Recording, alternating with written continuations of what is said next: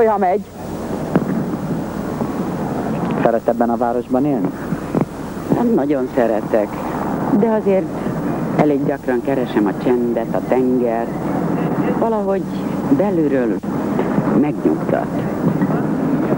Mikor jött ide ebbe a városba? Ebbe a városba jöttem körülbelül 10, 11 évvel ezelőtt. És miért jött ide? Hát, itt voltak hozzátartozóim, rokonaim. Szeretem Amerikát. Mit szeret benne? Szeretem a nagyságát. Nagy város, nagy ország, és az embereit is már megszerettem. Egy kis országból jött, nem volt ezt a nagy országot nehéz megszokni? Nem volt nehéz megszokni, talán eleinte egy-két évig. Azután valahogy már úgy éreztem, mintha örökké itt lettem volna. Most is úgy érzi? Most is úgy érzem. Semmi hiány, honvágy? Honvágy az mindig van. Az nem szűnik meg. Én azt hiszem nem csak én bennem, hanem minden emberben, aki eljött a hazájából. Messze érzi Magyarországot? Nincs messzeség, ma már nincs messzeség, amikor a repülők percek alatt oda tudnak érni, ahova az ember mondjuk akar. De én nem kívülről ér, gondoltam ezt a dolgot, hanem belülről. Belülről? Hát egyelőre úgy van, hogy haza fogok látogatni. Hogy mikor, azt nem tudom még. Ö, még egyszer megkérdezem, milyen messze van Magyarország most önben? Most a pillanatban? Most a pillanatban egész közel van, mivel hogy maga itt van, Magyarországról, és egyáltalán, hogy beszélgetünk. Miért jöttünk ide a tengerpartjára most? Tengerpartra én tulajdonképpen nagyon gyakran járok. Szeretem a csendet, szeretem a tenger hullámait, szeretem a madarakat a levegőben, szeretem a hajókat nézni. És itt van például a szabadságszobor. Jó, kösz, ennyi. Indíts! Nagyon örülök annak, hogy sikerül beszélgetnünk, illetve sikerül ezt a meg, filmet megcsinálnunk. Hát nézze, egész messziről jött, tulajdonképpen nagyon messziről jött. Hiába mondjuk, hogy repülővel egy perc alatt oda lehet érni, ahova akarunk, nekem mégis messziről jött. Nagyon messze van Magyarország így? Mondtam már, hogy nincs messze. Ma már nincs messze a világon sem. Minden, minden megközelíthető. Miért volt olyan nehéz? Miért olyan nehéz ezt a filmet megcsinálni? Miért volt olyan nehéz? Miért nem akarta, hogy ezt a filmet megcsinálni? Egyáltalán nem akartam. Én ma már ugye 30 év távlatából Más az ember, más a képessége, más az arca, más a külseje. Annyi minden történt azóta, sok minden történt. És tulajdonképpen én már sem filmre, sem színpadra nem akarok menni. És mi az oka annak, hogy mégis úgy döntött, hogy, hogy megcsinálhatjuk ezt a filmet? Mondjam azt, hogy a maga erőszakossága? Ezt is mondhatnám éppen. Hát úgy döntöttem nem nincs konkrétan oka annak, hogy miért nem akarta, és miért most már Nincs. nagy örömömre miért akarja? Nincsen semmi konkrétum, erre semmi konkrétum nincsen. Azt mondtad előbb, hogy más az ember arca. Én azt hiszem, hogy ez egy természetes dolog, hogy más az ember arca ennyi év után. Ez természetes. Az ember más, és valahogy elszokott ettől a pályától, olyan messze került, mindenféle szempontból külsőleg is, belülről is. Ö, azt kérte, mikor elkezdtük forgatni a filmet, hogy ne csináljunk közelit. Ezt mi természetesen teljesítjük ezt a kérést. Ö, lenne, ha nem akar, ne válaszoljon rá. Fél az öregségtől? Az öregségtől nem félek, mert hiszen minden embernek ez a sorsa. És abszolút nem érzem magamat öregnek. Azért kérdeztem úgy, hogy fél majd az öregségtől? Majd nem félek, és most sem félek, és semmitől sem félek. Akkor sem féltem, mikor ember voltam az embertelenségben, és annyi minden dolgon mentem keresztül, és annyi emberen segítettem. Nem féltem. Soha nem volt olyan pillanat az életében, vagy olyan, olyan helyzet az életében, amikor félt? Nem, nem vagyok egy félős természet. Inkább szerénynek mondható. Mégsem emlékszik? Nincs egyetlen egy olyan emléke, amit, ami, ami szorongásos, vagy amelyik, amelyik olyan, olyan pillanat az életének, amelyik félelem Félelem csak akkor fogott el, mikor színpadra kerültem, vagy az első filmemet kezdtem forgatni. Hát ezt lámpaláznak hívják, ugye, magyar nyelven, és ezt bizony talán érzem e pillanatban is. Tényleg milyen érzés ennyi év után? Kamera előtt, vagy, vagy kamerának háttal előtt lenni? Nézem, mivel ez nem egy hosszú film, nem egy hónapos, nem két hónapos, hiszen csak pár óráról van szó. De alávetettem magamat. Lesz, ami lesz. Köszönöm.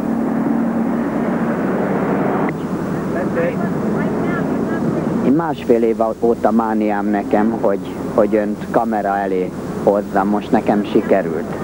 Ö, miért volt olyan nehéz? Miért nem akarta vállalni? Nézd, ez valahogy úgy van, én nem akartam soha többé sem színpadra, sem filmre menni, semmi szándékom nem volt. Ezt ö, csupán a maga kedvéért tettem meg, hogy van ez a pár órás kis film, amiben hát maga nagyon megkért, hogy vegyek részt. Hát így részt vettem. Miért határozta el azt, hogy, hogy soha többé nem lép színpadra és nem filmezik? Ezt elhatároztam akkor, amikor eljöttem Budapestről. És azzal önmagammal el is intéztem, hogy soha többé nem megyek színpadra. Úgy érezte, hogy valami lezárult akkor, amikor eljött Pestről? Nem egészen, mert itt New Yorkban nagyon sok helyen felléptem, csináltam egy búcsú fellépést, itt-ott, amott, és az volt mondjuk a búcsú fellépéseim egyike. Tehát ennek is vége. Ö, miért érzi úgy, hogy, hogy én hallottam önt énekelni, hallottam a hangját magnetofonról, én úgy gondolom, úgy, úgy hallottam, hogy ha lehet ezt mondani, akkor most még szebb a hangja, mint amilyen volt.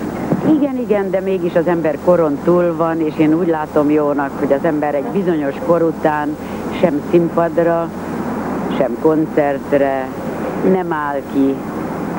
Ez az én elhatározásom. Én ilyen vagyok. Lehet, hogy más másképpen gondolkodik. Ez az én véleményem. Ö, Pesten, otthon, nagy sikere van újból ö, filmeket vetítenek, amelyikben ön játszott. Lemezei jelennek meg újból. Mit szól lehet? Nagyon boldog vagyok, nagyon boldog vagyok, hogy szeretnek. Én is nagyon szeretem a régi barátokat, rajongókat, mindig nagy szeretettel gondolok most is vissza, és nagyon boldogát ez az a tudat, hogy most is mennek a filmjeim, és főleg az, hogy a lemezeim kijönnek. Szeretettel gondol Magyarországra?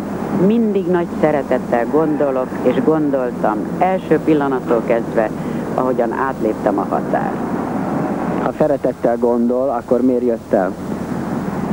Hát a körülmények akkor olyanok voltak. Hosszú lenne ezt elmesélni. De erről inkább majd talán később.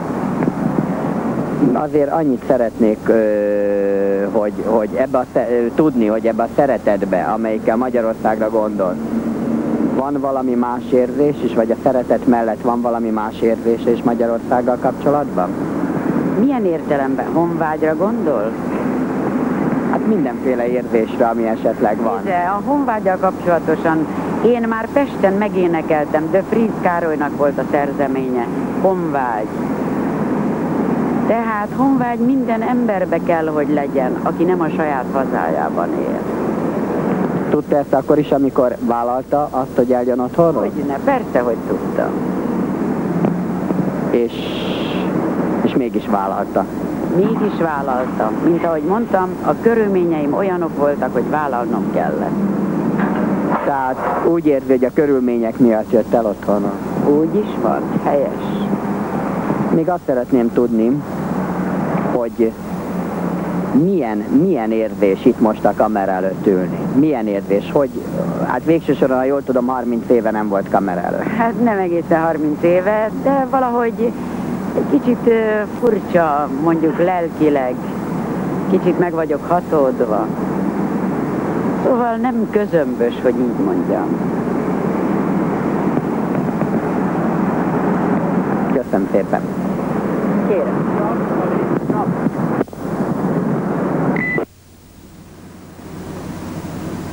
Mi volt az utolsó dal, amit Pesten elénekelt? Pesten, amit elénekeltem, a legutolsó felvétel volt Brody Tamásnak egy szerzeménye, melynek címe Jó ét, Budapest, jó ét, nagyvilág. Emlékszik a dalra? Hogy nem emlékeznék, gyakran szoktam dúdolni is. Hogy van? Jó ét, Budapest, aludj nagy világ. Így kezdődik. Hogy lesz színésznő, hogy lesz énekesnő? Én tulajdonképpen nem énekesnő voltam. Amikor megismerkedtem Egyed Zoltánnal, aki tulajdonképpen engem felfedezett, elvitt a Csató Kálmánnéhoz, Asszél Ilonához, és ők voltak a tanárai. És nagyon kemény három évet töltöttem tanulással. Majd három év után Acél Ilona, a tanárnőm azt mondta, hogy elvisz a Jobb Dánielhez a Vix bemutatkozni. És ott bemutatkoztam Herceg Ferencnek egy Tilla című egyfelvonásosában, Kamara Gyulával. És akkor pár perc múlva le is szerződtettek. Négy évig voltam a Vix tagja. Előtte énekelt? Nem igen, hát csak úgy magamban. Tulajdonképpen drámai színésznek készültem.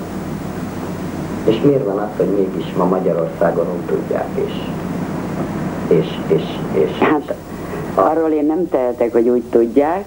Azután négy, év, négy évig voltam tulajdonképpen a Vix Színház tagja, utána az Operett Színházhoz kerültem. Fényes Szabolcs volt a direktorom, a híres zeneszerző, és játszottam több operettet. Melyik volt az első dal, amelyikkel betört, amelyiket a közönség már nagyon szeretett? Hát az tulajdonképpen a halálos tavasz volt. Az melyik? És az halálos tavasz. Ez lett a veszted mind a kettő közte. Azután az Operett Színházban a Maja kezdődött, Fényes Szabolcsnak a darabja, nagyon szép dalbetétekkel, és így tovább. Gyerekkorában színésznő akart lenni? Nem, nem akartam színésznő lenni soha. Iskolai elvégzéseim után férhez mentem. De ez a férhez menős nem tartott soká. Tulajdonképpen csak két évig voltam asszony, utána elváltam, és azután tanultam és lettem színésznő. Konkrétan, hogy, hogy került oda, hogy eldöntött, hogy innentől kezdve színész? Úgy kerültem oda, hogy Egyed Zoltánnal megismerkedtem egy társaságba, és egy vacsora közepet, és ő azt mondta nekem, ott énekelgettünk, ugye az ember iszogatott egy kicsit énekelt, és akkor ő azt mondta, hogy én magából színésznőt fogok csinálni. Persze nevettem, nem sokára hazamentem, kezdődtek a telefonok, Egyed Zoltán és én közöttünk, és mégis olyan nagy erővel jött a kérésével, hogy így elvitt engem a Csató Kálmánnéhoz. Csató Kálmán, mint ahogy az előbb mondtam, volt a tanárom, és a Csató Kálmán, Herceg Ferenc, Bajor Gizi. Náluk tanultam. Három keserves évig. Bajor Gizire hogy emlékszik? Nagyon szerettem, én nagyon fölnézek rám, ma, ma is. Nagyon nagy színésznő volt. Milyen szerepben látta? Nagyon sokszor Kaméliás hölgybe láttam utoljára. Nemzeti Színház. Hát hányban volt? Pontosan nem emlékszem, talán 44-ben. 43, 44. Nem emlékszem. Akkor hol volt, melyik színházban abban az időben? Abban az időben, abban az időben filmeztem, és az Operett Színház. Melyik volt az első filmje?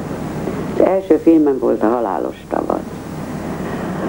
Szintén Zilahi film volt, a második filmem volt a Hazajáró lélek, Áger Antallal játszottam. Azután a harmadik filmem szintén Zilahival volt, valamit visszavíz.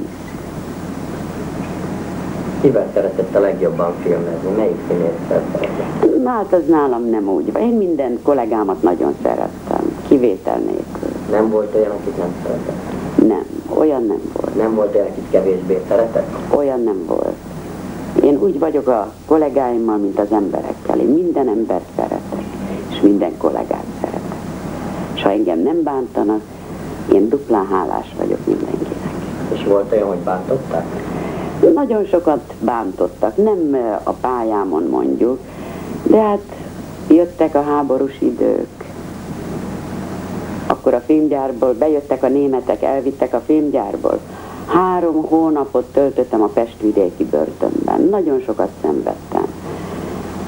A tulajdonképpen emberségemért. Konkrétan miért vitték el? Mi volt a vád? Semmi különösebb vád nem volt ellenem, ugye? Akkor mondjuk ez volt a divat, a neves embereket elvitték. Aznap, mikor vittek a filmgyárból, kis német polkocsin, láttam kitéve a plakáton a Mahita című filmemet, ami tulajdonképpen egy kémfilm volt. Lehet, hogy ezzel volt összefüggésben, hogy engem elvittek. Három hónapig bebörtönöztek. Nagyon szomorú sorsom volt nekem. A börtönben, amikor volt, akkor vallatták? Kérdez? Vallattak, fölvittek a Svábhegyre, agyba főbe vertek, a fogaimat kiverték. Nagyon sokat szenvedtem. Minden reggel ez volt a reggeli. Fölvittek a Svábhegyre kínozni. És nem mondták, hogy miért? Nem kérdeztek ott, uram, semmit sem. Ott csak ütöttek mindenkit. És amikor kijött, akkor mi volt? Ez hogy került ki a börtönből? Három hónap után egyszerűen azt mondták, lejöttek értem, és hazavittek ugyanolyan kis polkocsin. És ahogy hazakerültem, már a lakásom üres volt, nem találtam meg semmit benne, perzsaszőnyegeim, mindenemet elvitték. Ott álltam egy üres lakással. És újra kezdtem, próbáltam újra kezdeni. És amikor kijött, akkor a népszerűsége milyen volt Magyarországon? Mit ért? Háború után? Igen.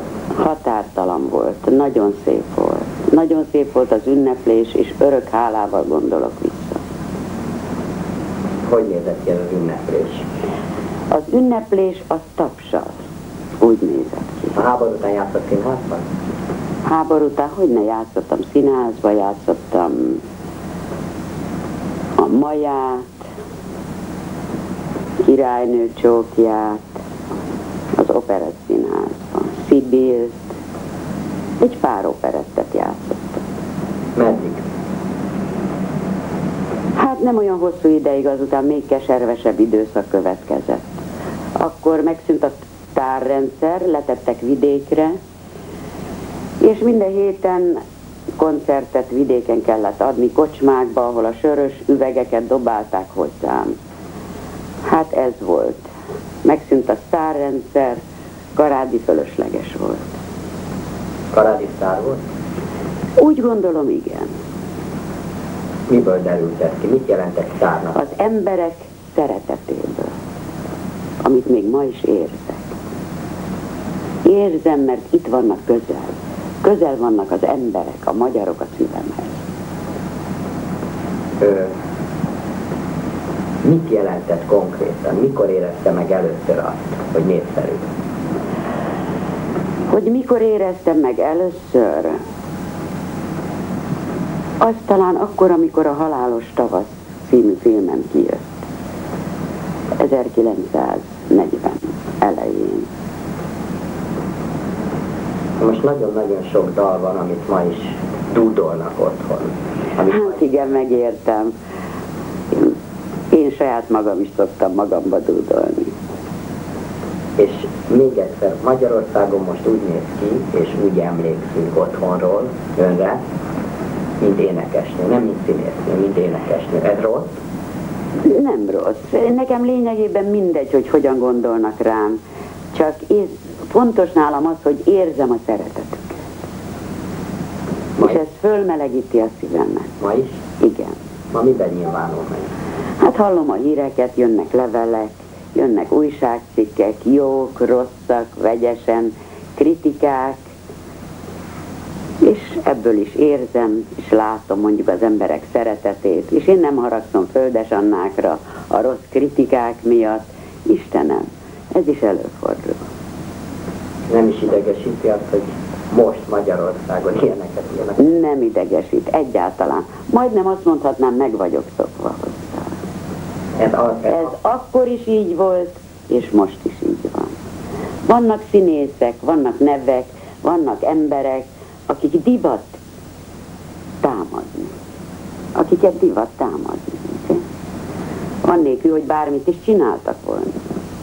Na most nagyon sok támadás érte akkor is, tudomásom szerint, amikor sztár volt, amikor Magyarországon még Na igen, mert hát nézze, Négyes csapó. Honnan jött? Milyen családból származik? milyen családból származom? Édesapám 30 évig gázgyári kis tisztviselő volt. Heten voltunk testvérek. Amikor megszülettem, meg nem keltett különösebb érdeklődés családunkban, mert akkor már hatan voltak, én voltam a hetedik. Tehát a legkisebb. Mondjuk így. Azután gyerekkoromban a Vörös Keresztel kiküldtek Svájcba. Ott éltem egy évig, talán lehettem hat éves, mint ahogy az a mellékelt kis fénykép mutatja. Szegény sorsú család volt ez? Hát nem mondhatnám, hogy szegény sors, Istenem, édesapám előteremtett mindent, amire szükségünk volt. Nem voltunk gazdagok, ugyebár? Szereti a pénzt? Hát csak amennyire éppen el tudom költeni. Volt olyan az életében, hogy nagyon sok pénze volt? Volt. Volt idő, amikor nagyon sok pénzem volt, amikor filmeztem, amikor színházat játszottam, de hát ez akkor volt. Most hogy él? Most is dolgozom reggel 10 órától este 6 óráig. Mit csinál? Van egy kalapüzletem, egy közös két barátommal. Ő, mikor tanulta meg ezt a mesterséget? Ezt a mesterséget? Ezt akkor, amikor eljöttem Budapestről. Hányban volt? 951. február 19. Emlékszik pontosan, hogy Pontosan emlékszem rá, szombathelyig elmentünk vonaton, utána 70 kilométert gyalog át Burgenlandig. Söges drótokon, aknákon keresztül. miért ment el otthonról? Hát éppen az előbb említettem magának, hogy leraktak vidékre, kocsmákba fellépni, sörös üvegekkel tomboltak és dobálták az ember fejéhez. Ez volt a részegek, hát ez volt a részem akkor, ugye? Ez a rendszer volt, mondjuk így. Sztárrendszer megszűnt.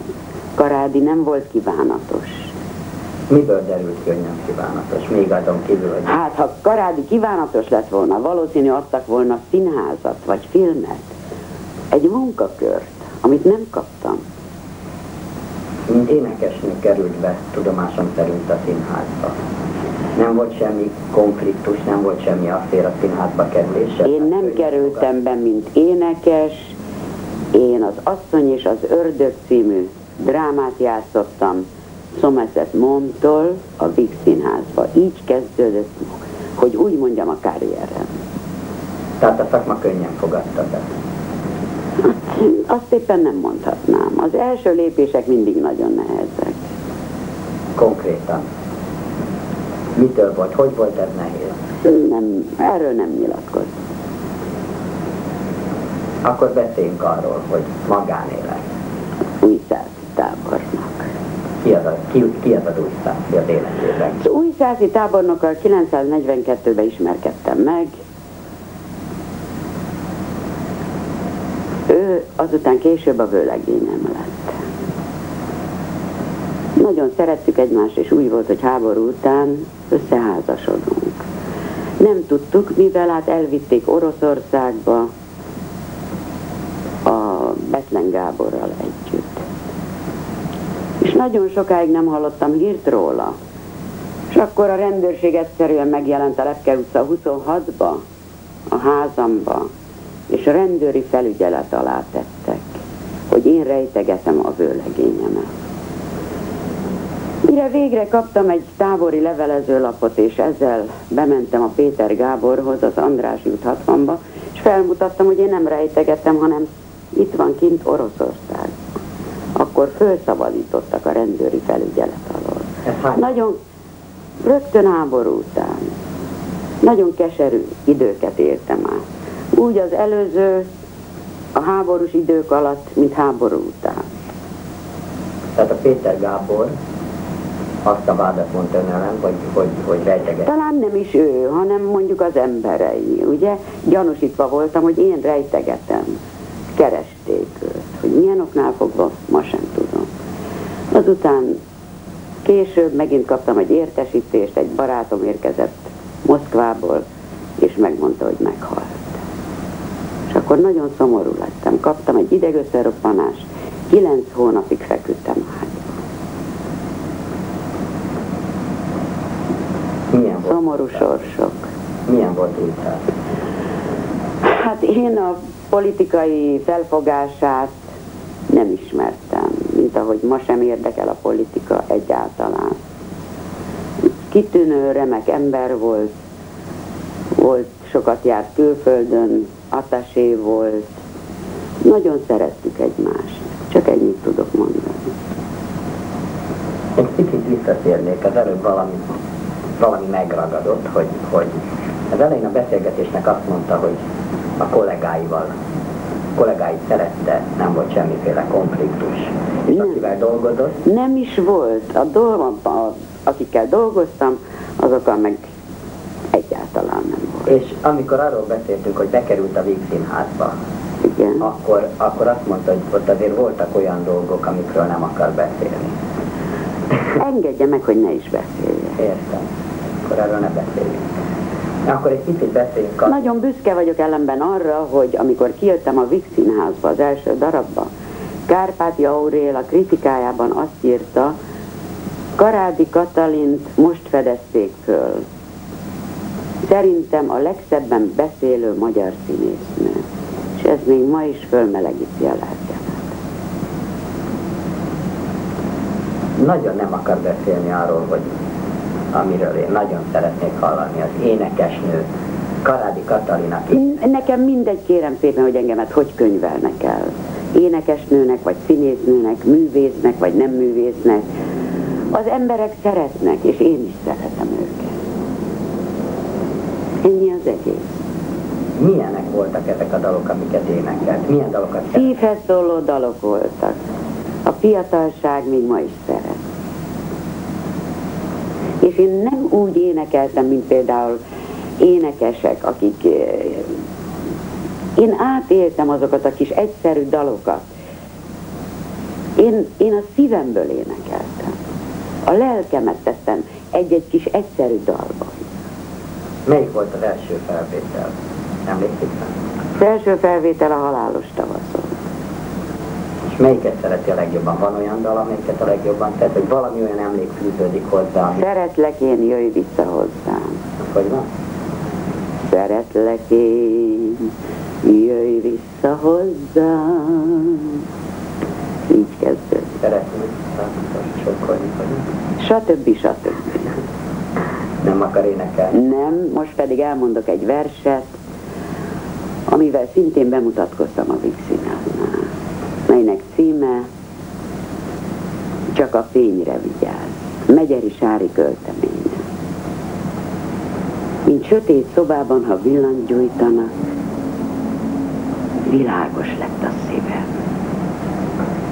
Hogy találtad meg a rejtett kapcsolót, amit tapogatózva annyian kerestek? Előtted mindig hiába szerettek. Bennem nem volt sem meleg, se fény. Utcákat róltam, városokat jártam. Sose fáradtam. Alig, hogy megálltam, aki szembe jött, azzal beszéltem. Ettem, aludtam. Azt hittem, hogy éltem. Észre se vettem, hogy a végére érek.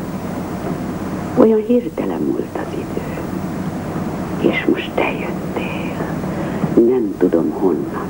Nem kutatom, jó vagy rossz a lelked. Van-e pénzed, szeretőd, tested nem beteg. Én mást akarok, mint amit mások. Nekem nem kellenek életállomások, eskük és szava. Csak a fényre vigyázz. Azt ne olts ki bennem. Hadd égjen örökké ez a csodalámpa. A véredből csapott át rám a lángja. Ölelésed az áram kamarája. Én nem bánom. Akár mennyi lesz is a zámba. Miért szereti ezt a verset? Szeretem. Ezzel is bemutatkoztam.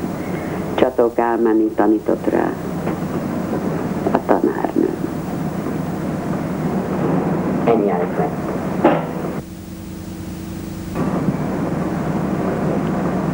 Mit akar elmondani most? Most elmondok még egy verset Megyeri Sárító, melynek címe Szanatórium. Késő éjszaka csengettem be a kapun, agyon hajszoltam. Menedéket kerestem egy férfi elől, akit nagyon szerettem. Az inspekciós ápolónő fogadott, semmit se kérdett, altatót adott, fölém hajolva gondosan takargatott.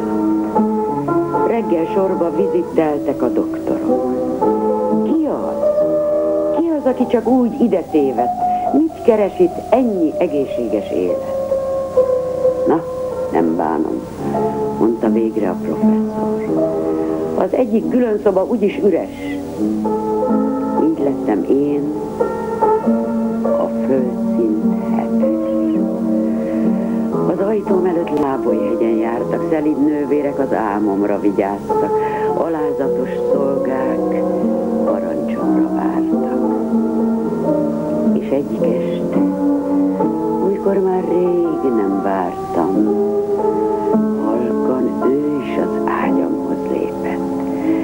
Tekintetében megbánásfény lett, most majd másként lesz. Azt ígérte, és észre se vette, hogy mindennek vége. Közönybe fulladt az emléke. Könnyű valamit akkor megkapni, ha a kéz már nem akar érte nyúlni, a lát kényelmes utána futni. Bortihat az elitég, nyomorékba töltik a tejet, vaknak gyújtanak karácsonyi lángot, koporsóra viszik a virágot.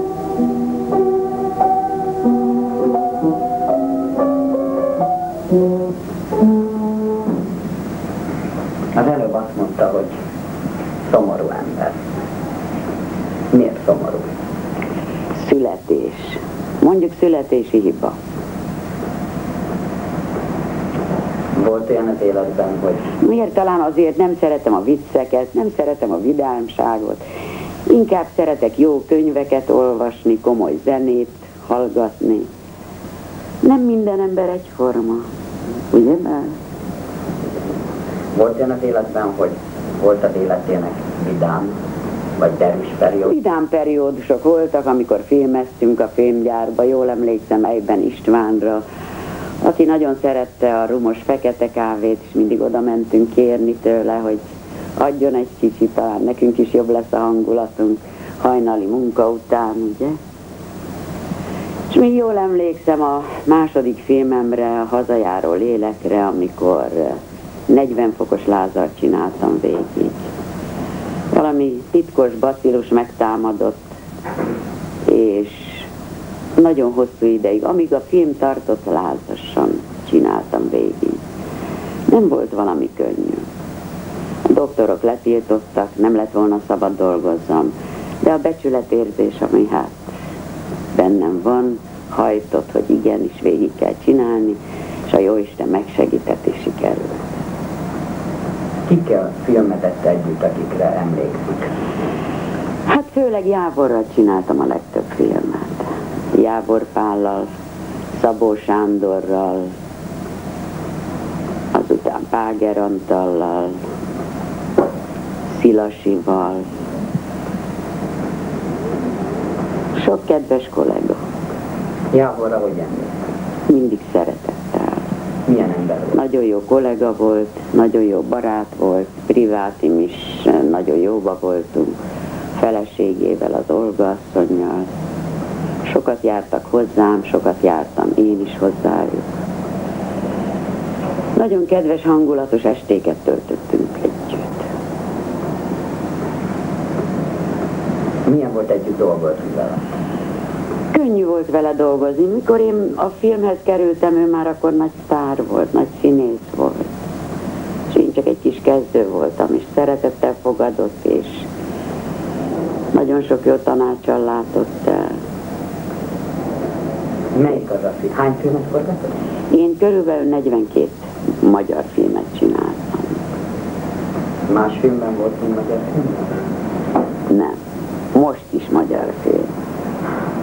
Ö, most forgatunk, és Volt egy próbafelvételem, pardon, akkor ki akartak vinni Németországba az első filmem után, az UFA-hoz, de nem vállaltam, nem akartam eljönni otthon.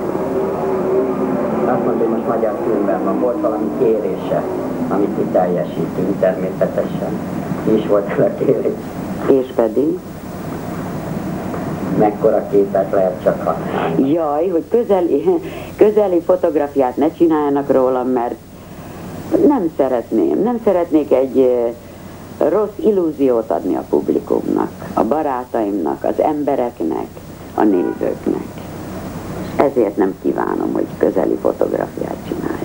Hogy szeretne megmaradni a nézők emlékezetében? A régi filmjeim, ahogy azokat látják. És érdekes, itt mutatott nekünk hangfelvételt, amit, dalokat, amiket itt vett fel. És az emberben az az érzés alakult ki, hogy semmit nem törődött, vagy semmit sem romlott a hangja, Na igen, de ezeket a felvételeket itten, ezeket a tekercseket tulajdonképpen csak házi használatra csináltam. Mondjuk a magam szórakozására. De gyönyörű még mindig a hang. Köszönöm szépen, nagyon jól esik hallani. Ez nem bók, ez Na, egyes barátok szerint most valamennyire úgy mondják érettebb. Talán még kellemesebb. Ezt hallom innen is, onnan is. Nagyon jó leső érzés nekem. nagyon szeretném, ha énekelne. Hmm, azt ne kívánja tőlem. Miért? Mert ahhoz kell egy különös hangulat, és abból a hangulatból én nagyon régen ki vagyok esve. Milyen hangulat kellene? Egy más hangulat. Most milyen a hangulata? Most is más. De mi az a más, ami most? Nem vagyok abban a hangulatban. Nem lehet csodálkozni rajta, Istenem. Az ember nem fiatal már, és sok minden. Napi, ha jól tudom, 8-10 órát dolgozik. Hát nem egészen tizet, de nyolc órát egészen biztos. Az kell, az kell, nézze, a munka azt mondják nem esik. Hát én is próbálom gyakorolni. Én nem tudnék semmi tevéssel lenni egész nap.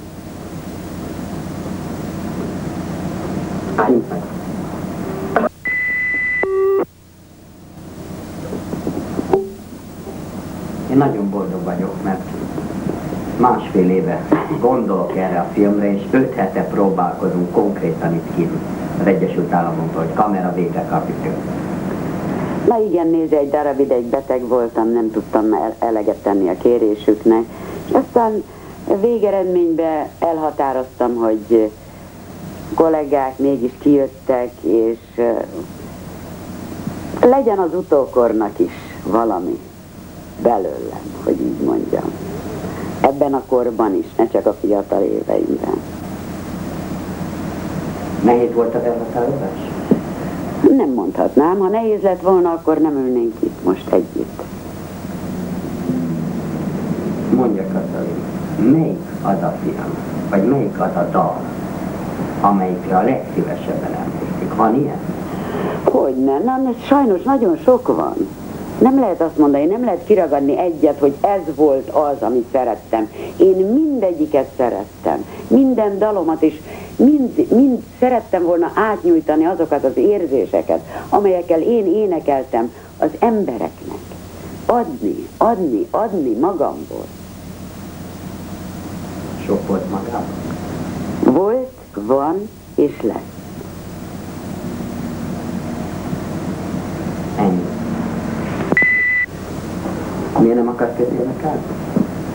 Tessék, Miért nem akarsz kötélnek állni? megy gép. Igen. Hát azt nem tudtam. Miért nem figyelmeztetnek? De szóltam, hogy megy a gép. Onnantól kezdve, hogy én kérdeztem, megy a gép. Nagyon sajnálom, nem mondtunk semmi olyan különöset, amit nem szabad mondani. Van olyan, amit nem szabad mondani? Minden szabad. Mutattam a szabadságszobrot magának. Szereti élni? Szeretek itt élni, már lassanként meg is szoktam. Mennyi idő kellett még? Egy-két év. Azt is mondtam tegnap. Na visszatérve a dalokra, ugye a katonadalokra, azokat nagyon szerettem. Jó ét, drága kis hadnagyom, valahol Magyarországon, üzenet jött a hazai földről. Nagyon sok szép dalt énekeltem. De ezeket főleg a frontra a katonáknak. Nagyon sok katona tért vissza, és mutatták a zsebükbe a fényképemet azzal, és mondták, hogy ez mentette meg őket, és nagyon jó leső érzés volt ezt hinni is. Jártél a fronton? Nem, fronton nem jártam, de nagyon sok barátom oda veszett. Ennyi. Jó, jó a szisztém. Nagyon finom. Nem tért rá, és azért tért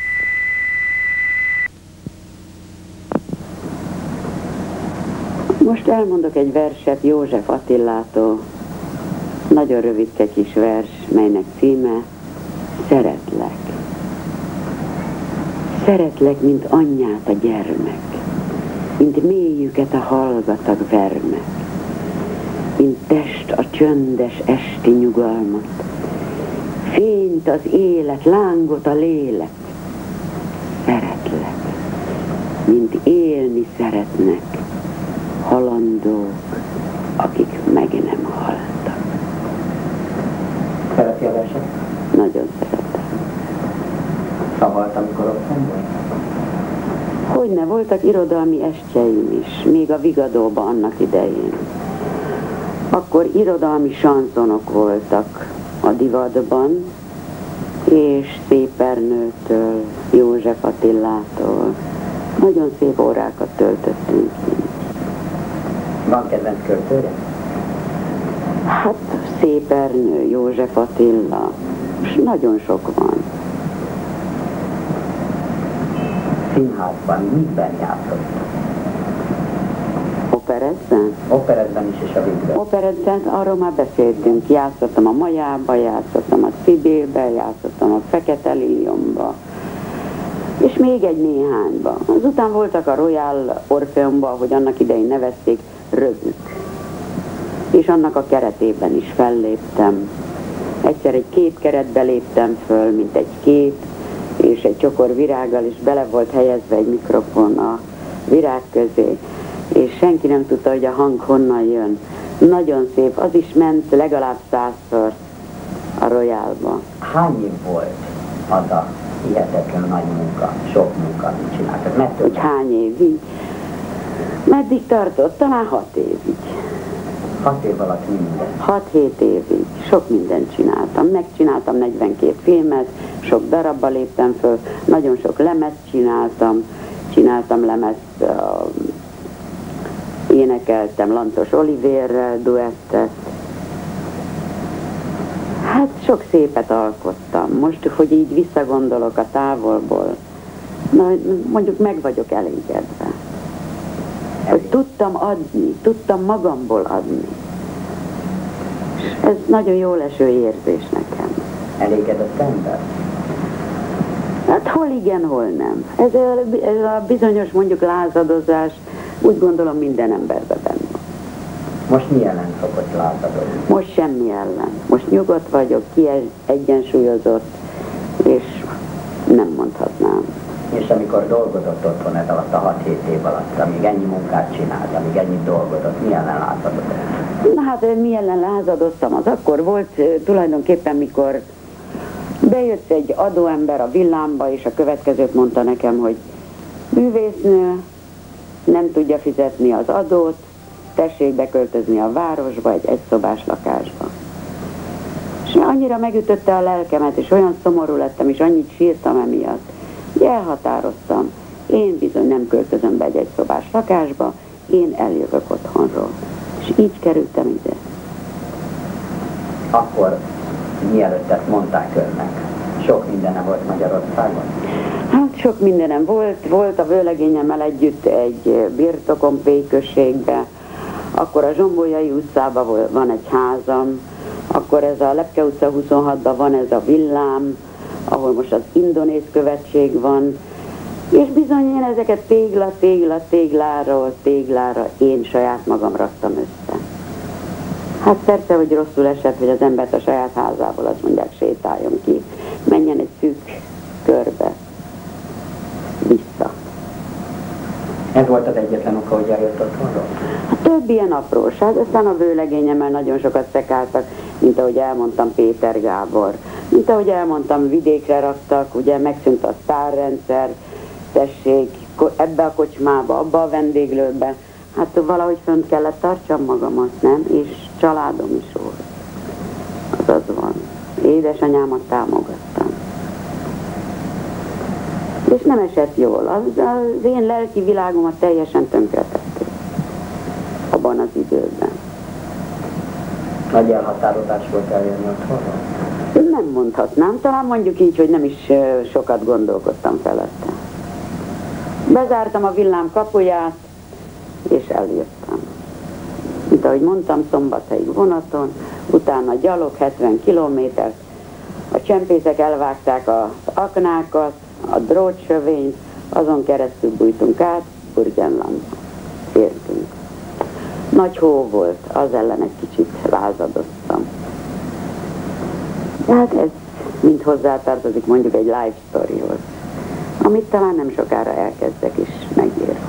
Könyvet akar írni? Igen. Volt olyan, hogy nagyon vágyódott haza?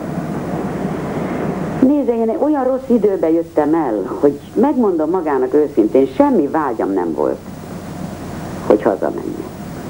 Az egy olyan rossz periódus volt, nem csak az én, hanem minden embertársamnak a számára. Azért van itt kint ilyen nagyon sok magyar. Tehát soha egy pillanat nem volt olyan, amikor... Na, a kezdet-kezdetén nagyon nagy volt a honvágy bennem, ugye? Ez még a kezdet-kezdetén volt. Édesanyám után, családom után. Aztán lassan az idő múlássával ez mind hallám hagyott. Mi az, ami hiányzik otthonról? Van olyan, maga, olyan ami, ami, ami, ami itt nincs és otthon volt? Itt minden van. Nézze meg a Second Itt annyi magyar üzlet van. Itt mindent lehet kapni. Herrenditől kezdve. A világon mindent van, még piros paprika is. De beszéljünk másról. Én úgy gondoltam, hogy, hogy barátok, emberek, közönség. Ilyen sok. A barátok a levelezésben vagyok.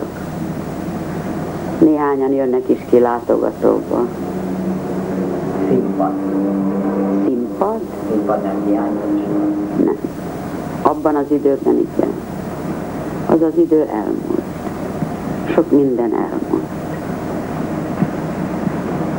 Mit?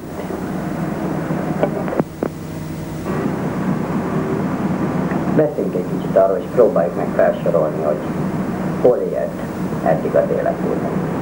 Hogy eddig hol éltem az életemben? Hát elsősorban Salzburgba egy évet, majd azután Svájcba egy évet, azután Brüsszelbe egy évet.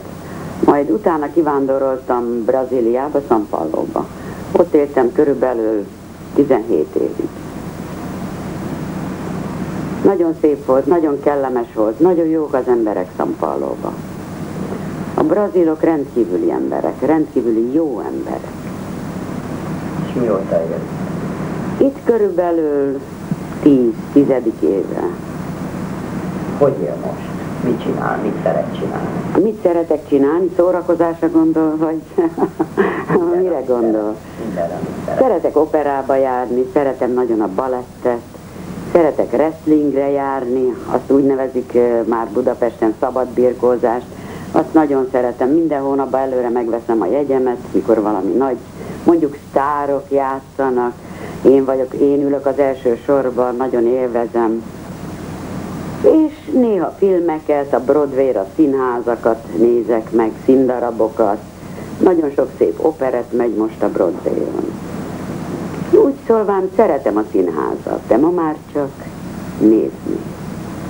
Amikor színházban ül, soha nem jut eszébe, hogy sok minden eszembe jut. Eszembe jut, hogy én ezt másképp csinálnám, vagy másképp csináltam, és pedig talán ők a tökéletesek. Talán én nem voltam az.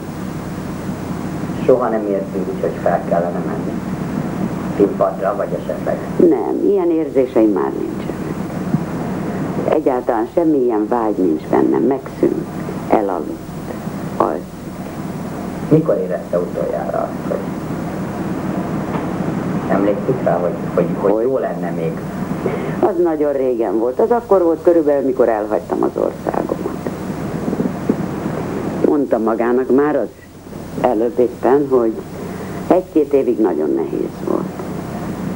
Utána megbarátkoztam az új környezettel, az új emberekkel, az új foglalkozással. Milyen érzés volt híresnek lenni, és utána pedig, utána pedig nyilván következett egy olyan periódus, amikor nem ismerték fel. Úgy gondolja, hogy a homályban éltem. Nem éreztem soha. Én éppen úgy érzem a szeretetet, az emberiséget mellettem, mint azelőtt éreztem. De Pesten mindenki felismerte. Nem utcán például. Felismert, és talán ma is felismerne. Itt semmi hiba nincsen. De amikor ki jött, akkor nem? Hát akkor is. Mindig magyarok, megmondtam éppen az előbb magának, mindenhol vannak. és ahova elmegyek, mindenhol szeretettel fogadnak. Szeretettel vesznek körül. Szeretnek az emberek. Én is nagyon szeretem őket. Tehát soha nem hiányzott az az érzés, hogy hogy nagyon fontos vagyok, mert Magyarországon nagyon fontos ember, nagyon fontos művész volt. Lehet, hogy csak volt, és talán ez is a múlté. Úgy gondolom én. Tehát teljesen lezárt ezt magában? Teljesen lezártam. A színpad az eltűnt az életemből. A filmezés még jobban eltűnt. Ez egy egész véletlen, hogy most itt vagyunk szemtől szembe egymással és beszélgetünk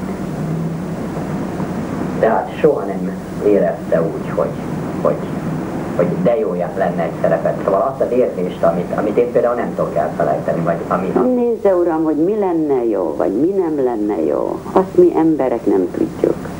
Valahonnan föllülről vagyunk irányítva, úgy gondolom én, úgy érzem én. Hisz Istenben? Én hiszek. Ilyen volt a nevelésem. Édesanyám csak erre tanult. Hinni a jó Istenben és úgy érzi, hogy úgy irányította az életét. Igen. Talán sok mindentől megszabadultam, talán még több rossztól, mint addig volt az életemben. Azt mondta a beszélgetés elején, hogy, hogy ezek a, ezek, hogy tulajdonképpen nagyon szépen, nagyon, nagyon, hogy nem volt semmi rossz azon kívül, amikor elvitték. Volt rossz, sok rossz volt, ugye elvittek a németek. Azután elmeséltem magának ugye a háború utáni kálváriámat, amikor gyanúba vesztek a vőlegényem miatt, hogy én rejtegetem. Nagyon sok mindennel járt ez. Nagyon sok lelki csapással. Ezeket nem lehet elfelejteni, nem lehet kiradírozni. Itt van, itt van bent. Az emberbe bent van. Pesten nagyon sok plegyka terjedt el, és terjed azon. Plecska, uram, hát a plecskasággal, ha én törődtem volna, ma már nem is lennék a világon. Az emberek szeretnek beszélni, és mindig többet akarnak tudni, mint amit van. De hát ez legyen az ő dolguk. De például az is elterjedt, hogy mint Matahari. Na igen, hát ez ezért terjedt el annak idején a háborús idők alatt, mert csináltam egy filmet, melynek címe Mahita. Ez volt a címe Mahita, egy kémnőt játszottam. Hát persze, éppen akkor vittek el a németek. Nagyon sok meghurcoltatásban volt részem. És ezért gondolták, hogy azért. Pedig csak azért vittek el, mert ember voltam az embertelenségben. És nagyon sok embertársaimon segítettem. Hogy? De emberi kötelességem volt. De az, az Megmentettem embereket. Három lakásom volt Budapesten. Itt volt 40 ember, ott volt 40 ember. Kis tartsáról kihoztam az embereket, akik rá voltak utalva arra. Nem akarok vallásról beszélni. És ezek önnél bujkáltak? Igen, az én lakásomba mentették át az életüket. azaz a lakása inban. Nem volt ez kockázatos? Kockázatos volt, mint ahogy meséltem magának. Három hónapra elvittek, bezártak a Pestvidéki börtönbe. Ott voltam a legnagyobb bombazápor közepet. Én azt olvastam valahol, hogy Sopron kővidám is volt. Nem, ott nem voltam. Tehát nem volt ez elég, hogy agyba főbe vertek, ütöttek?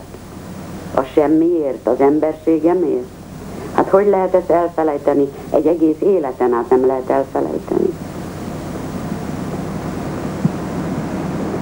Ennyi az egész. A fajta verset nem szavalnál nekem. Hát most már két verset elszavaltam. Én azt hiszem, hogy ez az interjú befejeződött. Nagyon szépen köszönöm, köszönöm, hogy eljöttek Pestről. Szeretettel vártam magukat, remélem maguk is így utaznak vissza. A fajtát nem mondaná el, tegyek. Nem, most már többet nem, ne haragudjék.